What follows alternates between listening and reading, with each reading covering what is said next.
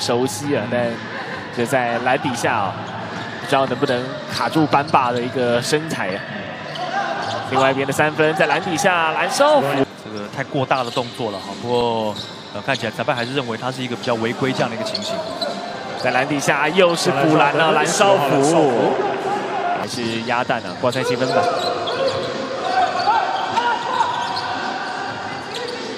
陈伟，这番博彦，这个球就并没有把握住。弧顶的三分外线出手没有，在篮底下蓝少辅他把这个篮板给抢掉了。这个球其实谢亚轩给的相当好，但陈范博彦有点放枪。身体卡位，林辉自己再拿回来，给到弧顶外，卢冠璇先进来开张。我现在八比三。哇哦！球挑战赛的 MVP 啊，吕正如，呃，中华队的头号射手没办法打，然后呃，这个中华队的常客哈，这个周伯成没办法打，那也入选郭昭南。再给到中间，没有第一时间中距离出手，再转，蓝少辅勾一下，再给到篮底下，最后传出来，进攻时间剩下七秒钟。回到另外一边，韩杰瑜的三分出手没有命中，蓝少辅拿到进攻篮板。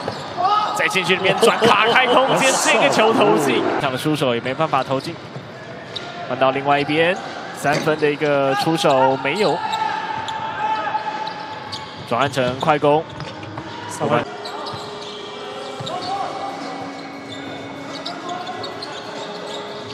爸爸要从弧顶，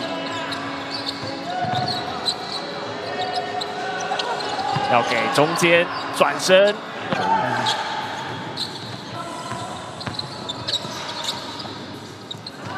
卢冠良三分的外线，这个从中间的一个暂停回来之后，反倒是玉龙把这个进攻篮板给要了回来。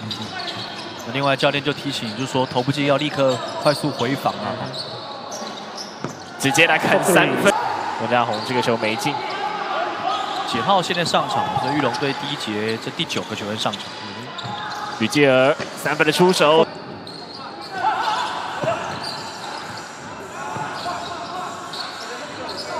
某种程度，一个他啦，另外还有像吕继儿，也可以算是跟邱大宗总教练再续前缘。十二号。那使得中华白队呢，目前的团队三分球哦，现在并不理想，九投仅中一而已。是。高抛都已经站在一个非常有利的位置了，但是没有把握住。再交球给他班霸，直接杀进来了。他之后再一个 roll in，就是直接在。哦，冲到篮底下，机会更好。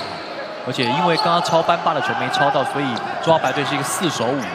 好，现场应该说平比较平均上场的这个时间呢。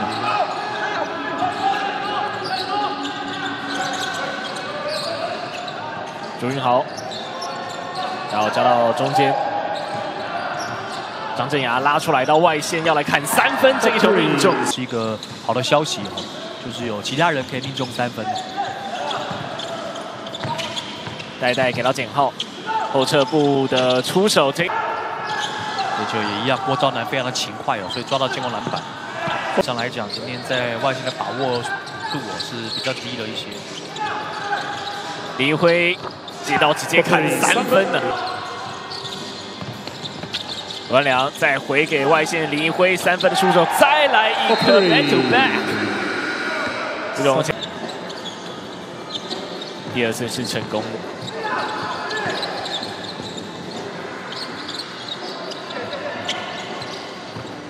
的。卢冠良单人自己杀进去哦，再给小球到禁区，哇！击球放枪，而进攻篮板拿到，造成对手犯规 M one。简浩晃一下之后，选择切入，之后交给班霸 M one，也让班霸站上罚球线，可以完成。陈伟想要用。变挡的一个加速，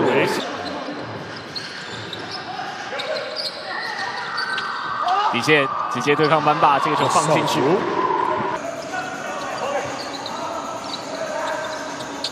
直接要来看三分，陈范博彦这个球没进。但南少福把这个球给球救回来，给到另外一边的朱云豪三分的出手命中。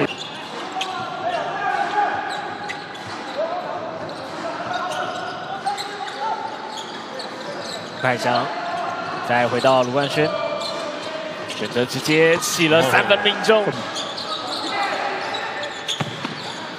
底线板把再传出来，完全再给到简浩三分的出手，这个球弹框，但进攻篮板，翁展宏抢到，再给到卢冠轩四十五脚命中。到十分，全场拿下十四分。啊！那这个功劳也要记在翁家宏啊，在篮底下抓到进攻篮板，明显。这个打法就比较多元，没有像第二节基本上就是只有投三分，呃，这个比较多比例的这样的一个进攻模式。那第三节打法就比较多元，直接卡进去，就是基本上就是要多加练习。对。然后还有就是你付出多少的苦练。哇，这一次的传球给的漂亮，在前面，这个动作稍微有点多余。对。简浩拿到之后，这个也不能算是全本土，是因为班霸本来就被视为本土。没错，十二分的一个差距。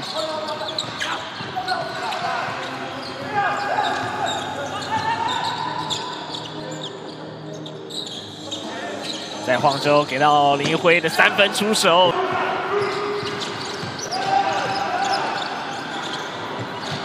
这球被拨掉。成功的一个超截，前面快攻了一个机会，虎牌上哇！其他人闪开，贾轩选择砍三分，卢万轩真的要放他投吗？但是避开他的防守，拉回到外线的三分命中，魏家豪，你砍三分魏。第一时间没有传，把进攻节奏稍微缓一下。对，相当于有经验的球队，没有快就放慢节奏。李辉放过第一步之后，自己的上篮得分。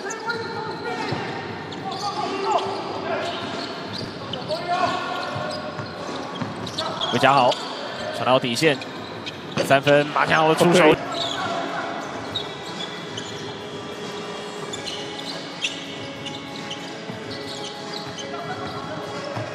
马建豪上半场比赛上场时间也并不多，啊，现在看看第四节来到场上之后有没有好一点的表现。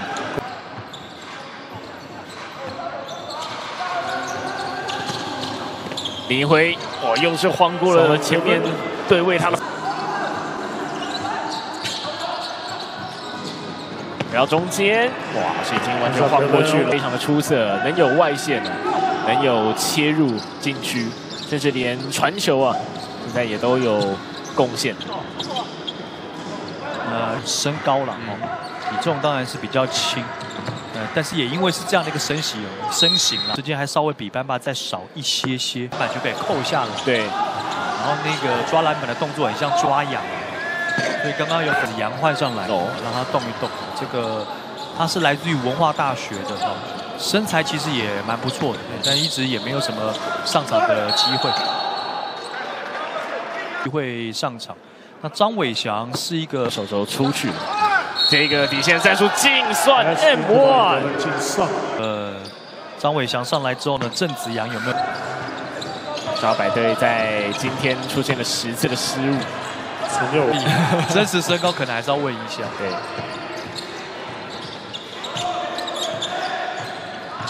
吉尔 有进去，有了，起来，好，这把他的 highlight 捡起来，直接投三分。梁跟张伟翔都上来，而且都有得分。那在这个篮板接获到之后呢，这一场的比赛要把时间给走完。最后玉龙队哦是以八十五比五十五，整整三十分的一个差距哦来击败了中华白队。结束。